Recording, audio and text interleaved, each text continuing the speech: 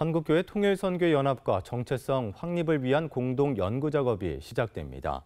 통일선교 아카데미 등 다섯 개 한국교회 통일선교 단체들은 지난 24일 숭실대학교가 마련한 통일선교 연합 컨퍼런스에서 통일신학과 통일선교의 역사, 통일정책과 전략 등을 분석해 이를 바탕으로 통일선교 언약을 마련할 것을 제안했습니다.